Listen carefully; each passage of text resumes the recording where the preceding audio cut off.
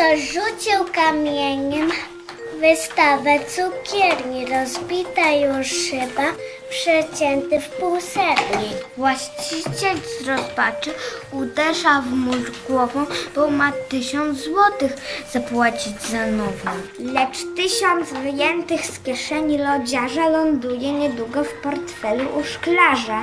A szklarz się raduje, radują się dzieci, gdy tata z tysiącem do krawca już leci. Jaś kurtkę ma nową, kozówek Marysio, a krawiec się nagle wzbogaca o tysiąc. Z gotówką na ręce na krawiec do rzeźni.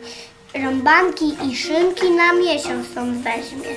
Zobaczcie to szczęście na twarzy rzeźnika, gdy tysiąc papierkach do kasy upycha kręcą się dalej biznesy już same, a cała machina ruszyła przez kamień. To znaczy to, żeby powiększyć dobrobyt, wystarczy też zniszczyć lub szkody narobić? Nic bardziej mylnego. Pamiętaj wszak, bracie, że biedny cukiernik nie zyskał, lecz stracił.